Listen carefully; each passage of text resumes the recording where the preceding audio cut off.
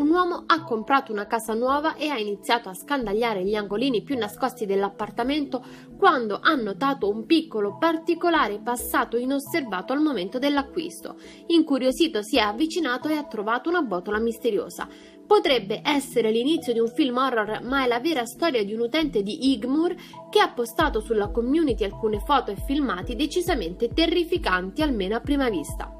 Dietro il deposito degli attrezzi, infatti, ha scorto un tunnel che conduceva direttamente ad un sotterraneo nascosto, risalente, come ha appreso in seguito, ad un monastero del XIX secolo.